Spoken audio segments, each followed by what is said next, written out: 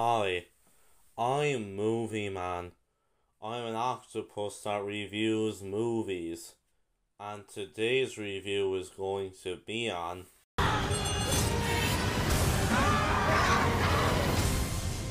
My friend was. So, you're probably wondering this movie came out two weeks ago. Why are you only talking about it now? Well, it's simple. Because this movie was released two weeks ago in America, but however, over here in Ireland, we only got this two days ago. Um, so yeah, we had to wait two weeks to get this movie, but hey, just remember, we got Gran Turismo two weeks before you guys, so I guess I guess it's safe to say that's a pretty fair deal, honestly. But anyway, so yesterday I went to go see Haunted Mansion. I'll, I'll be honest, from the from all the marketing that I saw of this movie, this wasn't really a movie which I was all too looking forward to. Like, it didn't look like an absolutely terrible movie or anything, but it didn't really look like a very good movie either. It just looks like it was just gonna be not a very good film. But, anyways, I saw this movie yesterday and what did I think? In my opinion, this movie was alright. It wasn't a great movie. It wasn't really an amazing film either. But overall, I thought it was a fine enough film. It wasn't it wasn't a bad film, it wasn't a terrible movie either. So let's get into my thoughts on this film. So first off, the cinematography in this film is very good. I think this movie is shot really well. Um, like um, I not to mention the film. It has this very dark color palette. Um, which like which really fits the film well. And yes, despite how dark this how dark this film is, I was still able to you know make it make out like everything and stuff. Um, like unlike the Little Mermaid, which could just be really dark at times, and that would just make it look very bland, honestly. This movie also has very dark color palette to it, but it actually does it in a way that works where like like it's actually nice, very nice to look at and you can clearly make out everything. So yeah, the fact that this movie was able to use a very dark color palette better than a than a like high budget live action remake is really saying something. But um anyways so then there's the editing in this movie. Um the now the editing in this film is pretty it's, it's I think it's I think it's solid enough editing. Um like oh like I mean Oh, there are a lot of a, a lot of films from Disney in the last few years that can kind of have problems when it comes to the editing and stuff, but I think the editing in this movie is very good. I think, I think it's all done very well. So, yeah, the film, the editing in this movie is very good. Um, then there's there's the pace in the movie. So now this film is notably way longer than the Haunted Mansion movie from 2003 because that film was literally only an hour and 28 minutes. That was that was less than an hour and a half. Meanwhile, this movie is a whopping 2 hours and 5 minutes, making it only 10 minutes shorter than Gran Turismo. And I'll be honest, the like yeah, I'll be honest, this movie it could it could feel very long, honestly. Um but I'll be honest, it wasn't really something that very bothered me that much. Um like like I'll admit the first ten or fifteen minutes were a bit slow and kind of hard to get through, but once the film got going, it really it really got going. Um, and I I think it introduced all the characters well enough, and um, yeah, the the pace in this movie was very good. Then there's the sound and music. So I think that the sound and music in this film is very good. Um I, I, I don't I don't I don't think it's it's like an amazing soundtrack or anything, but overall, I think it's a solid enough score, and yeah, I think it, I think it works very well, honestly. Um. Now, one massive complaint that I would have for this movie is the visual effects. Yeah, I'm gonna be honest, the visual effects in this movie were not very good. Um, like, like, I mean, I, I think, like, I think, like, the visual effects, they look very, like, they look very cartoony and stuff. They, they went for this really crazy kind of a style if you know what I'm saying.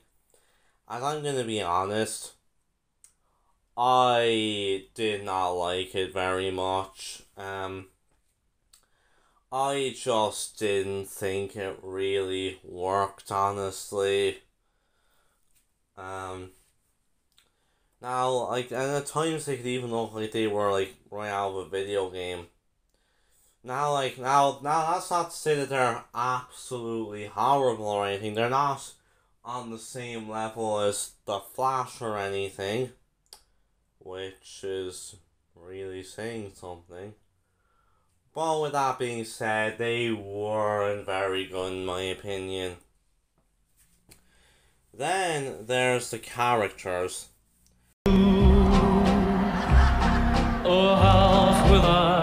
Guys, in.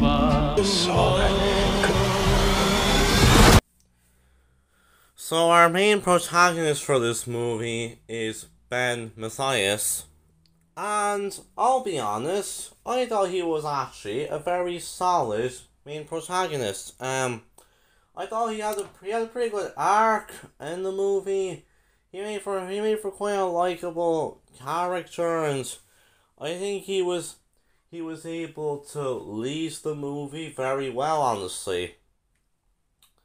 And um honest, Lakeith Stanfield, he, he did, I think, in my opinion, he did a very good performance uh, as Ben. Um, like, he, along with another cast member who I'll talk about in a minute, were the standouts of the movie.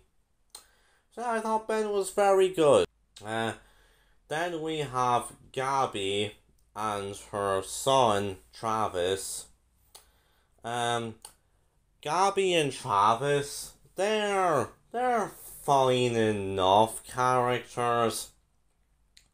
I wouldn't really call them great or anything, but I'll be honest, that they, they were alright. Like they they were okay.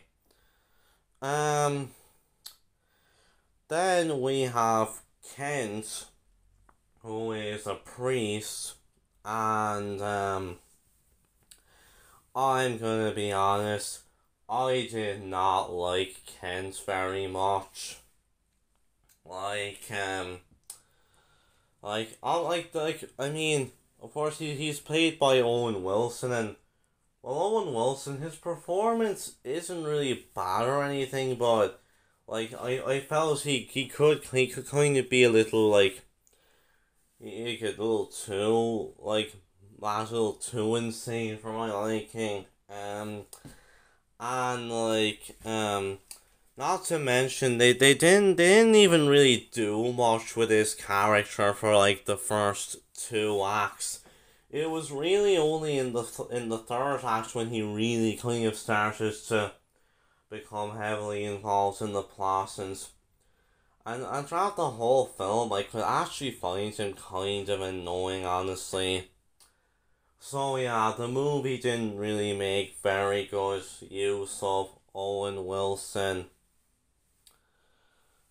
And and then and then we have Bruce, who was this university professor, I think. And he's of course played by Danny DeVito. I thought Bruce was a and he was an alright character. Um well, and um, like I mean, he was pretty much just Danny DeVito being Danny DeVito, but he was he was all right. He was he was okay. And and then, and then we have Harriet, as who is this psychic woman. And I'm gonna be honest, I actually really liked her. I actually thought she was made for such a fun character. I was actually surprised at how much I enjoyed her. Like, I mean, like she actually made for surprisingly a really fun character. Like and, and, and, and like Tiffany Haddish actually did a very good performance she and Lakeith Stanfield were, in my opinion, the standouts of the cast. So we all so in this movie we also have Madame Leota. Of course, she was a character from the two thousand three movie as well, in which she was played by Jennifer Tilly. Uh, well, and, and then now now in this version, Madame Leota is played by Jamie Lee Curtis and um like I felt that this like this movie like I I, I, I thought it took some interesting turns at Madame Leota. I mean it had it definitely had some interesting ideas for her character and stuff. But however, I just like I felt as if the movie didn't really do a whole ton with her compared to the one from twenty years ago because like I don't know. Like in this, I mean, in this version, like she only, she really only appears in like one or two scenes, and yeah, I mean, she's just not really given a whole lot to do. And Jamie Lee Curtis does a good enough performance for what she is given, but I felt the movie could, have done a lot more with her, honestly. Also, not to mention, like, okay, this move did this movie just really they they really CGI'd a lot of Jamie Lee Curtis. Like honestly, I I don't know. So I just feel like they went a bit too overboard with it or something. And then we have the main villain of the movie, the Hatbox Ghost, also known as Alistair Crump. And yeah, I, I I'm gonna be honest, I actually thought he was surprisingly enough, a really good villain. Um, like he could he could actually make for quite an intimidating villain, honestly. Um, and I and I mean, I'm actually quite surprised. I was, I am saying that. Um, and like he's he's played by Jared Leto. Now they did CGI Jared Leto up a lot, but um, yeah, Jared Leto plays the Hatbox Ghost in this movie, and like I mean, I'll be honest. I mean, like I mean, say what about Jared Leto, but you know, I'll be honest, I actually thought he did a very good performance in this movie. Now, granted, I'll admit the C, I, I'll admit like the CGI for him, it did look very wonky, very weird, honestly, it, and yeah, I know, it's, I, I just, I didn't, I mean, I didn't really find him like that intimidating when he was like when like we could fully see him and stuff, but nonetheless, he it was he, was all overall really good villain, and Jared Leto did a surprisingly very good performance. Yeah, so I guess it's safe to say this is an improvement over, you know, Morbius last year. So, the characters in this movie were pretty solid. What like the film could have done a bit more with one or two of them, but they were overall pretty solid characters. Oh, and not to mention, there's even there's even a there's even a cameo in this movie from a very noticeable um actress. I won't say who it is, but I'll give you a hint. She stars alongside Jared Leto in the movie from nineteen ninety nine. And like I mean, she was a great casting choice for this movie. Well, like, but the film just really, it really did not do anything with her. It only had her in the movie for one scene, and that was it. The movie definitely could have done a lot more with her. Um, so, uh, so yeah, the characters were solid, but like with with LaKeith Stanfield as Ben and Tiffany Haddish as Harriet were the standouts. But the film definitely could have done a bit, a lot more with one or two of the characters, I felt. So then we have the plot of this movie. Now, I'll be honest, the, the now this movie is actually quite different from the 2003 film. Like, it actually, and like, it tried to do something different with this new version well, and I'll be honest, I actually, I actually really like that. If anything, I actually prefer it that this movie tried to do something way different. And I'll be honest, the direction that it took and everything, it actually, it didn't have, it didn't, I thought, I thought it went in an actually a pretty alright direction. Now, with that being said, this movie was not as entertaining as the 2003 film. Because the 2003 movie well it was a very funny film. There was a lot of scenes in it that were very funny. But in this in this film however now I'll be honest with you guys I didn't really laugh at the jokes a whole lot now, don't get me wrong. That's not to say I didn't laugh at any of the jokes. There was there was a small amount of jokes I found pretty funny. There was this one joke from Harriet which actually made me laugh a good bit, but with that being said, this this movie was just it was not as funny or entertaining as the two thousand three film. But with that being said, I can respect this movie for taking a different direction from the original film. And then we have the narrative structure. And so so of course the film focuses on like it like like it focuses on this whole part of like trying to figure out like what's going on with this house, what happened in it and stuff. Which I think makes for a very good plot. Um and we do have a few subplots with some characters, like there's a subplot with Ben's character, there's a subplot with Travis's character, and I think the way that they all that they fit into the main narrative, I think it's done in a pretty it's it's done in an alright way, honestly. Um and I think that the movie it, it, it does do its whole plot of trying to figure out what happens in the house everything it's all done very well, in my opinion. Again, I will say that this movie could have been a lot more entertaining, but to catch more filming. But I thought the way it did its plot and everything, it was all done in a in a pretty good way. So overall, Haunted Mansion twenty twenty three. It was surprisingly enough an alright movie and it was admittedly way better than what I had been expecting. Um now that's not to say this movie was particularly a great film or really I wouldn't I wouldn't this wouldn't be an amazing film in my opinion. Like like there, there I mean I did have a fair few issues with the movie like the visual effects weren't very good. One that we could have done a lot more with a few of its cast members and again it just wasn't as entertaining as the two thousand three film.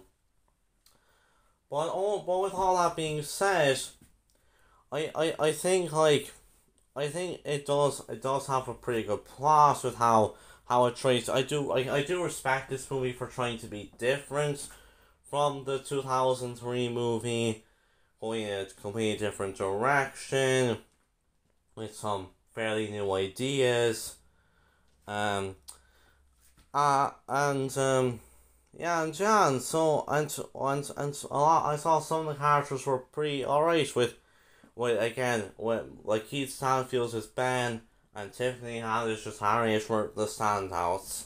Um so so if so if you're interested in this movie, like this wouldn't really be a very high recommendation for from me, but I'll be honest, if you would be interested in seeing like a new take on the haunted mansion, with which is like with anti with which a bit of two just a little over two hours and and like if you just want if you just want to see this this like attraction just come to life in a, in a new kind of way, I don't think it'd be a very bad one to check out.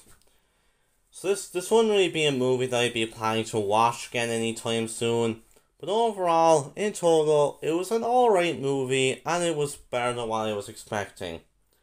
So with that, I am going to give Haunted Mansion a 6 out of 10. So with that, I'll see you guys next time and bye.